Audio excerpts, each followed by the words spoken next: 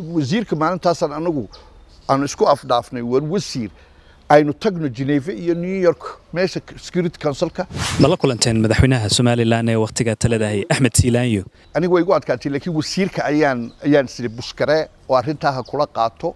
Waanu iga diiday markaa wuxuu igu yidhi warniyow sida gaalada u shaqeysaa waa rabadaan bisha rabadaan odaygu ha kaa ha kaa nastee faraha ka qaad. Waxaan ku yidhi bisha rabadaan waxbaa isbedeli doona dabeetana. Waxaan ku baraarugnay maalintaa marka ekaaw ay ku wareejinaysay ciilmooge ay muqdisho ku kala saxeexanayeen ayuu maxamuud xaashi igu yidhi shir jaraa'id baan qabanayaa oo arrintaasaan dhaleecaynayaa. Ekaalayo la soo fadhiiso soo fadhiisan maayo baan ku yidhi. Sanadkaasi goormuu ahay hawada Soomaaliya si rasmiya ay ula wareegtay. Anigu waxaan qabaa maalinta ay UN ku wareejisay ayay bilaabeen la wareegeeda waxaan ka dambeeyay laga wada hadlaya ee uu ka hadlayo maxamuud. Waxay ahayd formalities bay ahayd murankii hawadu waqtigaa joogtay aad buu u cakirnaa talooyin fara badanna waad lahayd. Talooyinkaa ma la odhan karaa waxyaalihii lagu qoonsadayba ka mid ahayd xilka qaadistaadii. Laba gil kama gilgilan karo maxamuud. Kama gilgilan karo ciddii ka dambaysay waxaan xasuustaa xirsi buu ahaa ninkii diiday. Ee yidhi masiir baa laga hadlayaa. Guddiyo farsamo looma baahna. Nabaday kulanti habboon daawadayaal ku soo dhowaada barnaamijka xogsida uu maanta marti igu yahay brofeser axmed dalal faarax wiwa oo aqoon-yahan ku xeeldheer arrimaha shuruucda hawada islamarkaasna aqoon-yahan wax ka dhiga jaamacadaha kala duwan ee dalka.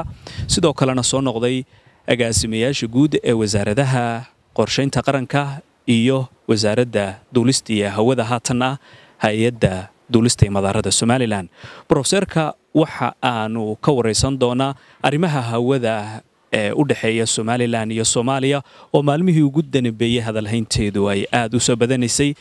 Sidoo kalena brofeserka waxa aanu su'aalo qoto dheeraan ka weydiin doonaa wakhtigii uu xilka hayey iyo sidoo kale goortii hawada somalilan ay gacanta ka baxday ee ay ugu gacan gashay soomaaliya. Brofeser waan ku dhoweynaynaa marka koowaad kuna soo dhow barnaamijka xogsiga telefishinka c b a. Wasalaatu wasalaamu calaa ashraf almuslimiin marka hore waan idiin mahadnaqayaa inuu daadihiyaasha c b a fursaddan aada siiseen maadaama maalmahan ay siyaasadda hawadu cirkaa isku shareeshay. Sababtuna ay ahayd diyaaraddii ay soomaaliya sheegatay in laga celiyey hawada somalilan ee wafdigii etoobiyaanka ahayd. Soona gelisay wasiirkii horeen anagu wada shaqaynaynay in uu isdifaaco markii aad ila soo xidhiidheen anigu ma rabo qofna inaan eedeeyo ma rabona inaan cidna eedeeyo laakiin wixii aan xaqiiqa ee meesha taala ayuunbaan ka warramaya. Horta damaca hawadu ilaa maalintii somalilan ay la soo noqotay xorriyaddeeda wuu taagnaa. Laakiin awoodyarida dowladda soomaaliya iyo maamulo adagun ka jirin ayaa somalilan u fududaysay inay wax badan u n to gacanta ku haysa ay la maamusho laakiin soomaaliya dowladdeedii markay marba soo koraysay inay awood yeelato damceedu wuu sii korayay anu maalintii la ii magacaabay laga soo wareejiyey wasaaradda duulis qorshayntii qaranka lai soo wareejiyey wixii igu horreeyey ee aan wasiirka ka wada hadalno maxamed maxamuud xaashi cabdi oo aan in badan si fiican u wada shaqaynay. Aad iyo aad aan u wada shaqaynay. Is-afgaradka iyaguna meel sare marayey suurtona gelisay inaan wax badan hawada ka qabanno. Waxay ahayd war qorshahan ay u n ku maamusho hawadeenna iyo madaaradeenna yaa gacanta ku haya. Waxaa lagu yidhi hay'ad laydhaha kakas oo ay u n u magacaawday markii butros qaali uu joogay. Security resolution nine five four loogu dhiibay u n d b. U n d b na ay ka codsatay ecow inay samayso mashruuc lagu maamulo oo layda waxaan ku yidhi horta tay noogu horreysa waxa weye inaynu taa fahanno. Mashruucaasi muxuu ina siinayaa awood. Maxaynu ka wada hadli karnaa. Anu waqtigaa waxaan ku beegmay isagoo maxamuud xaashi iyo cabdiweli oo markaa ahaa wasiirkii qorshaynta qaranka. Markii dambena prime minister noqday markii dambena puntland ka noqday madaxweyne. Ay heshiis ku gaadheen inay sameeyaan guddi isku dhaf ah oo steering committee ah oo saddex xubnoodoo soomaaliya ka kooban hal xubinoo u n d b ah iyo hal xubinoo ecow ah iyo xogayaha oo ah markaa ninka ka ahaa maamulaha mashruuca kaakas markii aan la kulmay somalilan waxaa matelayey inan warqad looga sameeyey madaxweyne ku-xigeenka. Muxuu ahaa markaa inankaasi warqaddaa loo sameeyey? Inan travel agent holland ku haystay buu ahaa. Xamaal banaanaystiisa la odhan jiray marka somaliland buu matelayey nairobi baan shirkii ugu horreeyey ugu tegey waan u sheegay waxaan ku yidhi de anigii baa dhiijiya anaa maanta la wareegaya hawshan. Wuxuu igu yidhi maya warqad baan ka haystaa ee lama wareegi karaysid. Wax kale adigoo agaasimihii guuda. Dib baan ugu soo noqday hargeysa maxamuud xaashaan ka wada hadalnay warqad baanu madaxweynaha ka qornay markaa tii burinaysa madaxweyne ku-xigeenka. Saasaanan kula wareegay markaa kursigii. Kursigiina markaa wareegtuu ahaa laba xubnood oo ka socda koonfur mid puntland iyo mid koonfura iyo aniga. Weliba la keli saddexda qofba waxaanu ahayn saddex qof oo marka la eego wadamadaa aynu baasaboorada ka wada kanadiyana markaa shirkii ugu horreeyey ee aan anigu jeer ka ahaado waxaanu ku qabannay montreal maadaama iyagiina iman karayaan ajendaha shirkaasna wax kale mu ahayn. Qorshahan kaakas ay dalka ku wadaana ma anfacayee ha la qiimeeyo. Qiimeyn baa lagu sameeyey marka wafdi baa la soo diray khubaraa la soo diray. Khubaradaasi gabadh baa hogaaminaysay braziliana oo aqoon u leh. Waxay martay meel kasta dalka gudihiisay martay report bay soo saartay. Ay nagu raacday inaanu mashruucani soomaalida anfac u ahayn sida loo maamulo. Dabeetana maxaad saluugteen markaa muxuu ahaa waxa weeyaan dalkiiba waxba lama gelinayo xitaa shaqaalaha soomaalida ee ka shaqeeya kaakas waa tababaray ku joogaan. Mushahar ma qaataana istaban waxa la yidhaha gunnay qaataan. Markaan weydiiyana waxa lagu dowladda kenya diiday inay work permit siiso. Dee kenya meeshan ma laha baan ku dhihi soomaaliya iska lahe soomaaliyana hawsheedii annagaa wada maamulayna iyo somaliland. Sidee u diidi kartaa? Markaa mashruuca anigu markaan wada akhriyay book document baa jira product la yidhahdo ama project document. Project documentkii baan anagu dhaliilnay markaa anigoo markaa chairmanka ah steering committeega kii markii aanu report ka soo baxay ee dibuqiimeyn lagu sameeyey waxaa ka soo baxday saddex recommendation ama talooyin talooyinkaasi waxay ahayd in guddigan la adkeeyo soomaalina loo wada dhiibo oo ay ka baxaan un-ta iyo iyo ecow shantuba soomaalidu wada qaadato ama saddexdaa ay ku sii maamulaan in dal dhexdhexaada intay somalilan iyo soomaaliya heshiinaysa la geeyo iyo in meel soomaaliya ka mid ah oo nabada la geeyo. Qodobkaa dambe ayaanu markaa ku guulaysanay in ay noqoto somalilan oonu qolada puntlandna ka xodxodanay inay nagu raacaan waanay nagu raaceen. Waraysiyadii baad garanaysaa ay sameeyeen. Arrinta halkaa maraysa oo loo ballansan yahay 2013 june loo ballansan yahay sidii arrintaa looga dhigi lahaa hargeysa ayaa shirkan ankara ka dhacay. Wadahadaladii somalilan iyo soomaaliya xasan sheekh iyo ku heshiiyeen siilaanyo waxaa ka soo baxay communique odhanaya maadaama hawadii ay imikaba keeniyaan iyo dad kaloo ajaanibi ay maamulaan. In la depoliticize gareeyo siyaasadda laga saaro xarun madax bannaan loo sameeyo oo hargeysa ku taala oo ay laba xubnoodoo ka socda koonfur iyo laba xubnoodoo ka socda somalilan ay wada maamulaan oo diijiyadu ay hogaaminayaan halkaa markay marayso hadalladii wasiirkana waan dhegaystay qaladka ugu weyn halkaasuu haddaba ka weecday iyadoo maxaa markaa weecday markaa shirka ankara ee labada madaxweyne ay heshiiska ku gaadheen maxaa qaldamay? Waxaa qaldamay ge- geesa riyaad kulaylkaa lagu gooya haddaad maanta heshiiskii butros qaali heshiis jabinaya oo adiga favorable ku ah lagu soo saaray soo ma ahayn inaad markiiba go'aankiisa daba gasho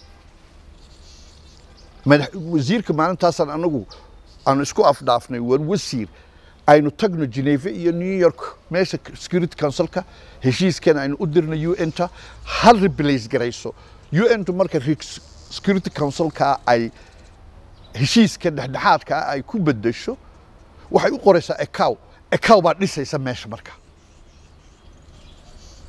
Waxaan raba rabadaan bay ku soo beegantay baan u malaynayaa maalintaas. Waxaan u xasuustaa haddii aanan been ka sheegin ma la kulanteen madaxweynaha somalilan ee wakhtiga talada axmed adkaatay aniga way igu adkaatay laakiin wasiirka ayaan ayaan siri buskare oo arrintaa ha kula qaato.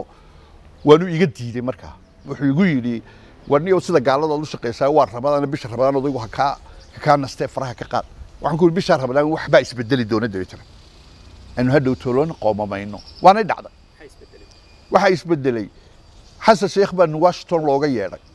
Markaa washington looga yeedhay waxaa laga wada hadlayay islaantii clinton mrs clinton of minister of foreign affairs state ministerka ah ayaa ka qaadaysay cunaqabatayntii soomaaliya. Markaa markii ay dhammaysteen ayaa ceelmoogoo la socda xasan sheekh iyo inan la yidhaahdo mo xuseen maxamed xuseen cabdiraxmaan oo xubinna naga ahaa steering committeega ayaa ceelmooge ku yidhi islaanta waxaad inoogu sheegtaa dee hawadana inay u n tu inagu wareejiso. Iyaduna waxay ku tiri war maxaa ugu haysataan? Dee waddan madax bannaan halkaasaa dabeetana ekaw sababta ay u raacday in uu qolada t c b gu ay ku wareejiso hawada soomaaliya taasaa keentay haddaba anagoo juun anagoo ballansan inaan isu nimadno sidii hargeysa looga dhigi lahaa. Waana bishaa rabadaan dhexdeeda ayay dhacday. Waay professor waktigaa la joogay dalka turkiga ay wadahadalladu socdeen. Iyada laftooda waxaa socotay guddiyo ka madax bannaan wadahadallada dhinaca hawada. Ah maxaa hor joogsaday guddiyadaasi inay hirgalaan amba ay si amba qaadaan? Anu waxaan xasuustaa maxamuud xaashi anu saan kuu sheegayna in badan baan si fiican u wada shaqaynay. Guddiga farsamada fikirkan in hawada laga dhigo wada hadalka koowaad oo aan siyaasadda bada laga wada hadale bal hawada hadday nagu aaminaan inay keeni karto kalsooni inaan waxa kalena ka wada hadalno. Ayaa ahayd marka guddi farsamaa la yidhi ha la sameeyo oo ka sii shaqaysaa wixii technicala waxaan xasuustaa xirsi buu ahaa ninkii diiday. Ee yidhi masiir baa laga hadlayaa. Guddiyo farsamo looma baahna ujeeddaduna maxay tahay? Markaa uu ku diidayey dad politicianisuna inay meesha ka qayb qaataan. Politicianiskuna de kama warhayaan xaaladda technicalka ah ee taagan. Hawadaba ka soo qaado. Waayo marka isagu xidhsay soomaaliya aynu kala tagni aan kala tagno taasuu masiirka u haystaa. Laakiin ti markaa laga hadlayay ajandaha koowaad ahayd hawadayday ahayd. Hawadan haddaan technical teamkeedii la socon dee cidla lagaa helaya way. Dib aan kuugu celiyo professor axmed dalal farax wiwa markii madaxweyne xasan sheekh uu tegey dalka maraykanka ee loo ogolaaday in hawadii lagu wareejiyo maadaamood wakhtigaa agaasimo guud ka ahayd tallaabooyinka aad qaaday maxaa ka mid ahaa? Waxaan xasuustaa somalilan by nature horta waxay tahay waa reactive. Wax dhaco un bay had iyo jeer marka dambe ku baraarugtaa mana aha dhinacan only hawado qura. Dee wax wal oo proactive ma nihin taas maanta somalilan iyo etoobiya ka dhexaysa ayaan intaan taariikhda jiray. Proactive aan u arkaa dan somalilanna siyaasaddana markaad rag is haysaan dee waa inaad ka horraysaa iyad wax badan. Qabsan kartaa gogasha sii xaadhan kartaa meelaha go'aanada lagu gaadho aad joogtaa meelaha tingtaaga aad joogtaa. Kama arko anugu saaxadda somalilan waxaan ku baraarugnay maalintaa marka ekaw ay ku wareejinaysay ciilmooge ay muqdisho ku kala saxeexanayeen ayuu maxamuud xaashi igu yidhi shir jaraa'id baan qabanayaa oo arrintaasaan dhaleecaynayaa kaalayo la soo fadhiiso. Soo fadhiisan maaya baan ku yidhi. Maxaa dhacay buu igu yidhi. De maalin walba reaction cidun baanu dhaleecay baan ku yidhi. Haddaynaan inagu proactive ahayn. Go'aan gaadh oo maxayn maxaan go'aanka gaadhnaa? U n t way ka baxday dhexdhexaadnimadii soo maaha baan ku yidhi. Miyay inala soo socodsiisay? Waa maya. Diyaaradahooda ground kuwa cirkana ma soo geli karaan kuwa dhulkuna ma dhaqaaqi karaan ilaa ay keenaan sababta ay ugu wareejiyeen. Iyadoo aynu steering committee lahayn iyadoo hawshu socotay iyadoo daraasadii ay sameeyeen ee ahayd in hargeysa la geeyo laisla qaatay in bisha juun la wada hadlo oo nairobi lagu hadlo inay may wareejiyaan. Iyadoo waxaasoo hadali socday oo aanay marnaba somalilan ka soo wargelinin aanay la soo socodsiinin. Yah aniga dee shir jaraa'idoo la qabtaa waxba inoo tarmaysa tallaabadaa qaad haddaad qaadayso. Maalintaa uu tallaabadaa qaaday baan deetana dib u wada shaqayna haddana. Tallaabada maalinta aad adigu go'aankeeda lahayd maxamuud ma kugu raacay mise uu kaa soo horjeedsa way igu raacay markii dambe way igu raacay. Inkasta oo ka qaadidiina aan diiday deg deg ahayd oo arrin siyaasade cukuse iyo ay ku jiraan tiimam kale iyo xirsi iyo looga qaado. Oo ku war ilaa hadda weli hawsheenii may dhammaanine. Un ta ha ka qaadina cunaqabataynta way awoodeynii bay muujinay inayn un ta markaa soo fadhiisin karno oon la hadli karno. Haddaad awooddii iska bixiso maxay kuula hadlayaan wixii ka dambaysa? Adiga iyo soomaaliya warhadla bay yidhahdeen baashi wana wareejina wixii ka dambaysa sidaasay deetana wada dambe iyo hawada iyo inay saani noqoto oo u n ka dhex baxdo sanadkaasi goormuu ahay hawada soomaaliya si rasmiya ula wareegtay. Anigu waxaan qabaa maalinta ay u n ku wareejisay ayay bilaabeen la wareegeeda waxaan ka dambeeyey laga wada hadlaya ee uu ka hadlayo maxamuud. Waxay ahayd formalities bay ahayd laakiin maalintaasaa go'aamadii la siiyey in lagu wareejinayo wixii ka dambeeyey diyaarin loo diyaarinayo siday ula wareegi lahaayeen ama taawar ha loo dhiso ama shaqaalaha loo tababaro ama xisaabaadka siday u uruursan lahaayeen adisababa shir ha loogu qabto training. Waxaasi waa process kii geynayay inay la wareegaan. Laakiin still anigoo axmeda aqoonteedana leh intaana og somalilan iyadoo haysata saddex fursadood oy ku hor istaagi karto soomaaliya inay harin u wareegto. Haddana juhdigii loo baahnaa may gelin. Waxaa number one ka ah resolutionkii butros butros qaali 954 ilaa hadda lama jabin. United nationsku weli uu taaganyay in aan hawada soomaaliya la wareejin karin ilaa dowlad midhaysanoo from rascamboni to lowyacadda ah qodobka labaadna waa heshiiskii xasan sheekh iyo siilaayi ay gaadheen ee ahaa depoliticizedka ahaa in aan siyaasadda laga saaro hawada oo ay ku heshiiyeen labadii dhinac in la sameeyo santar madax bannaan oo hargeysa laga dhigo. Taasna wuu taagan yahay oo u n t lalama xidhiidhin. Waa halkaan la rabnay in looyara la qabsado ama laba qof aviation lawyersa oo eega go'aankii xitaa ay kaawa ku talisay ee reportkii qodob saddexaad waxa weeye ilaa maanta waad og tihiin baa soomaaliya fadhida. Resolution bay ku fadhidaa ilaa taawarka iyagaa gacanta ku haya. Marka ummaddaa taawarkeedii gacanta ku haysan oo resolution ku fadhido ka baqaysa in al-shabaab diyaaradaha soo u soo dhex marto soomaalida haddii loo dhiibo. Saddexdaa arrimoodba soomaaliya weli hawadii lamay wareegin laakiin maxay sameeyeen? Magacii bay ka bedeleen. Hay'addii u n t maamulaysa hawada waxaa loo bixiyey nairobina weli way fadhidaa. F i s s baa loo bixiyey. Flight information services of somalia taa lafteedaaba sharci jabina sooma huwa sharci jabin laakiin haddaad aggressive haddaad adigii counterpartka ahaa aanad aggressive ahayn oonad waxa la bedelayo without your knowledge aanad ka hadlaynin. Ama dowladdii hore kulmiye ha ahaato ama tan ha ahaato. Way. Mar kale aan kugu celiyo wakhtigii aad joogtay wasaaradda duulista iyo hawada somalilan markii go'aankaasi ka soo baxay qaramada midoobay ee lagu wareejiyey hawada soomaaliya tallaabooyin kale ma qaadeen oo dhinaca sharciga ah. May. May. Dee warqaddii aanad sidhi u qora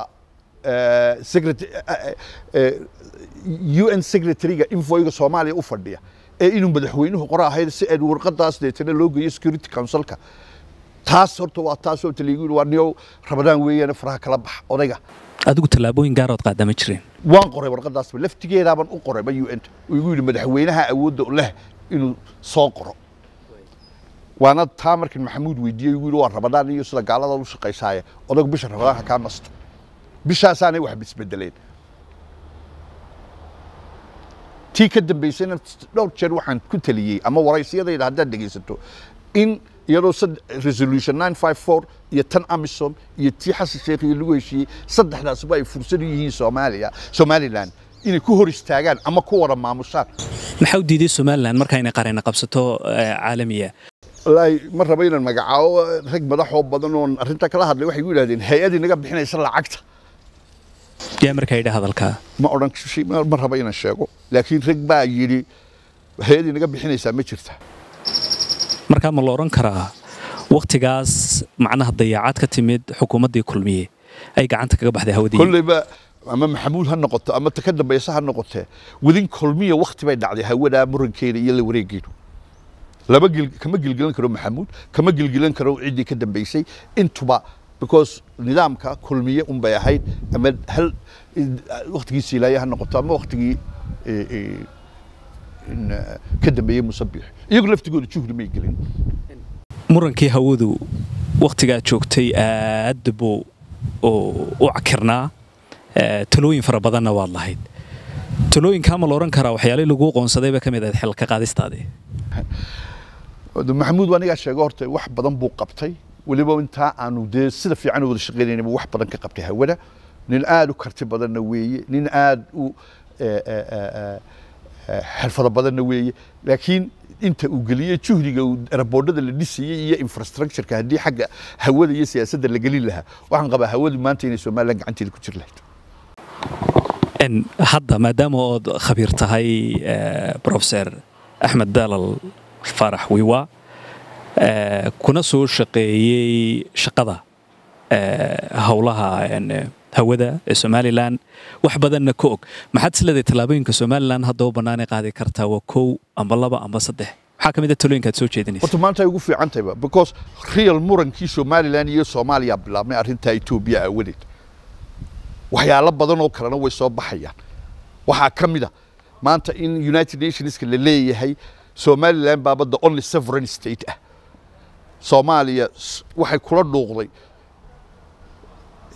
somaliland warqadii ay ta iska iskaga register garaysay marka haddii si fiican legal waa kelmaddaasaan ku celinaya legal aviationka iyo un ta aqoon u leh somaliland ay haayar garayso waxaan qabaa hawadaana way soo celin karaan wax badanoo kalena way qaban karaan. Talada ugu dambaysa aad u soo maxay tahay somalilan si legal ah ha u approach gareeyaan si legal ah. Sharciga ha raacaan dad aqoon leh waad haysataa saddex fursadood oo ku siinaya inaad hawada ama ku hor istaagto ama laydiin kala jaro. Oo sidaa uu maxamuud ka sheegaya laba f i r la kala siiyo ilaa intaa hawada la maamulayo laakiin hadday tani sidaa ku tagto badduna berri way tegaysaa dhulkuna wuu iman doonaa. Eh, gabagabadii barnaamijkeena xogsida ayaanu ku jirnaa waan kaaga mahad celinaynaa waktigaaga aad noo hurtay adigoo aada mashquul ah. Markii aad maqashay duyuurad wafdi ah oo ka soo etoobiya ayaa ay celisay dowladda federaalka soomaaliya. Maxaad xasuusatay? Horta waxa weeyaan hawadu waa waa cajaayib weeye. Saddex nooc bay ku shaqaysaa. Mar waa regulatory oo shuruucday day fulisaa marna waa private oo airlineskiiba ay ku dhex jira marna waa international oo dee hawada waa lagula maamulaa marka aad fahanto sagaal iyo toban maalin walbaa lagu hawada lagu maamulaa sagaalkaa iyo toban maalin wal de wuxuu qorayaa sidii loogu shaqayn lahaa. Marka ay soomaaliya iyo somaali eh, iyo somaliland kala saxiixdeen heshiis markiiba controversial soomaaliya ku noqonaya waxyaalaha la rabay in tala laga samaystaa waxa weeyaan waftigaa imanaya sidee ugu habboon ay dalkeena ku iman karaan? Hawadeenii gacanta ma ku haynaa maynaan ku haynin. Hawada aynu heshiiska ka nahay soomaaliya waxaa ka mid a schedule flight diyaaradaha joogtada u yimaada lama joojin karo lamana celin karo because insurance baa ku jira dad kalaa tigidha haysta marka wafdiga etoobiyaanku inuu soo raacay ahayd diyaaradda scheduleka ah halka uu diyaarad u baahan permission. Inuu soo raaci lahaa waanu ognahaynaa. Permissionka diyaaradaha internationalku mar walba soomaaliya weydiistaan innaga hawada abroachka marka wixii erde- u soo dhowaado airportkeenna ayaanu permissionka siinaa. Soo degi kartaa hadday naga haystaan fasax. Haddaanay naga haysanna waa celinaa. Marka waxay ahayd in wafdiga madaxtooyada ee maamulaya wafdigaasi siduu iman lahaa inuu talo badan ka sameeyo sida ugu securesan ku iman lahaa. Talabaadee kalena u jirta waxa weeye dee jigjigaaba intan u jirtaa jigjiga haddii diyaaraddu ka soo socdo less than twenty thousand bay ku soo kici kartaa uma baahna markaa permissionka soomaaliya. Saani bay eh, eh, air traffic controlka ula xidhiidhi kartaa marka eh, eh, eh, hawadaa celinteeda. Faham faham badan. Faham badan bay u baahan tahay marka especially eh, eh, qolada siyaasaddu ay faraha la gasho in ama diyaarad soo koraysato ama diyaarad dad ku soo- soo casuunto inay qaataan talooyinka aviationka. Ugu dambayn eh, maxaad ku soo gunaanadaysaa eh, barnaamijkeenan tala iyo tusaale? Ha niyad jabina. Hawada waad la soo noqon kartaan soomaaliya voorguri uma haysato. Waddadii aynu ka habsaanay un aynu dib u bilowno. Oo aynu legally processkii marno maantaaba murankii cad yahay soomaaliya iyo somaliland. Hawadana ha la keeno. Deetana ha la eego. Butros qaali security resolutionkiisi miyee taallaa tii xasan sheekh heshiiskeedii miyuu jooga? Maanta xasan sheekh baa jooga. Kama noqon karo. Delayska aynu samaynay waxaa ka mid a in xasan sheekh markuu soomaaliya ku noqday ay ku noqotay crisis. Marka somaliland markii dib u sii dhacdaba isaga waxay u ahayd win win bay u ahayd. Marka haniyad jabina murankii maanta buu taagan yahay.